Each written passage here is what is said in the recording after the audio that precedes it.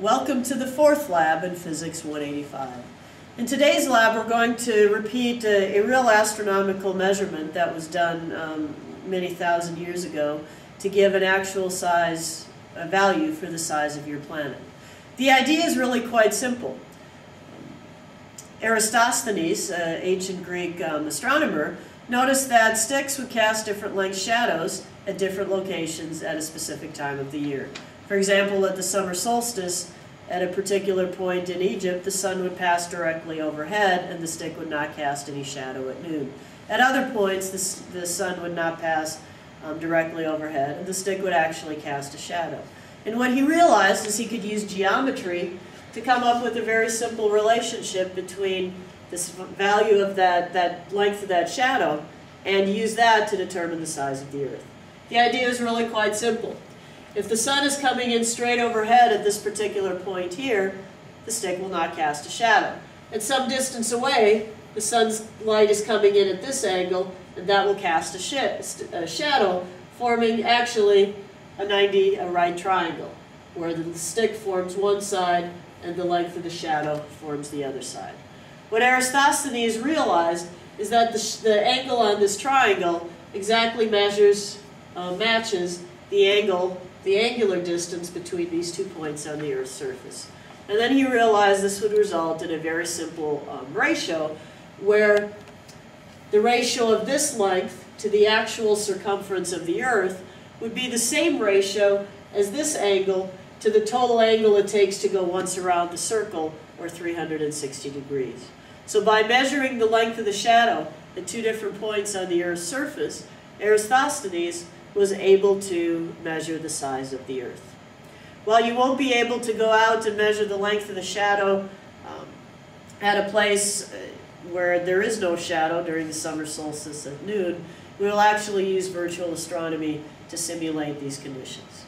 I'll show you what your screen will look like when you open up the software. This will give you a picture of the Earth orbiting the Sun. Um, the length of the shadow will change depending on the tilt of the Earth's axis over the course of a year. The bottom picture right here shows you the view, the shadow that's being cast from one point on the earth. The top point right here shows you the shadow that's being cast at another point. Notice for this particular point right here, this is actually representing a deep well. When the inside of the well is lit, the sun is directly overhead. And so in order for you to get an accurate value of the angle that you can use to measure the, the size of the Earth, you need to make sure that you stop this animation when the sun is directly overhead. And you can notice that this flashes just a little bit when that condition is met. I'm going to go ahead and try and stop the animation at the appropriate time. Notice you can slow down the speed of that animation to make it easier to stop at the appropriate time. I missed it.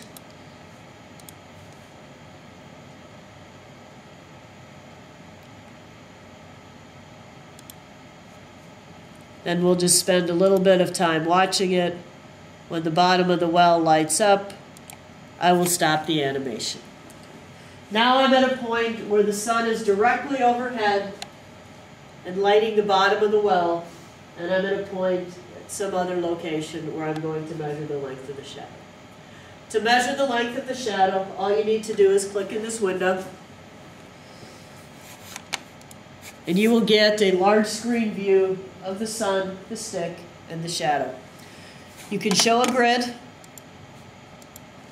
and to find the angle, what you need to do is you need to count the number of squares representing the height of the stick, and you need to count the number of squares to find the length of the shadow. Here's the height of your stick. Here's the length of your shadow. Pay careful attention. The actual middle of the grid runs run through the middle of the stick, so I have one, two, three. This would be about 3.8 squares for that shadow. Once you have the height of the stick, and the length of the shadow. You can then calculate the angle using simple trigonometry that's provided to you in the lab manual. And once you have that angle, you can then use the ra ratio of that angle to 360 degrees is the same as the distance between those two points to the actual circumference of the Earth. When you go to the check your answers box, it will tell you how far apart these two locations are. It will ask you to report your angle in degrees, your angle in radians, and your radius of the planet in kilometers. Um, conversion factors for radians to degrees and degrees to radians are in your lab manual. Um, the radius of the planet, again, you can find that from the ratio. If your answers check, remember to take a screen capture. You should get a check after each, each of those values and insert it into your lab report. If you have any questions, please email me. Good luck with the lab.